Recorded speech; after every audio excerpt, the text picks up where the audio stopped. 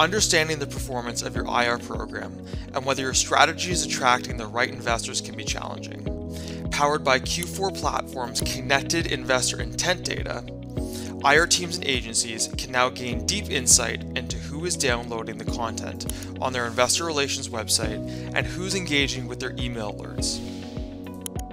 IR teams and agencies can get a clear understanding of specific pieces of content engagement by clicking in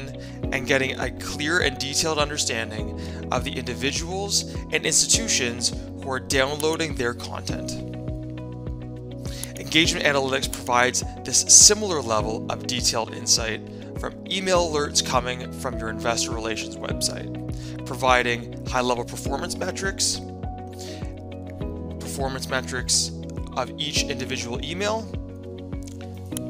as well as detailed insights into the individuals and institutions who are opening each specific email so you can conduct a warm reach out if you haven't met with them.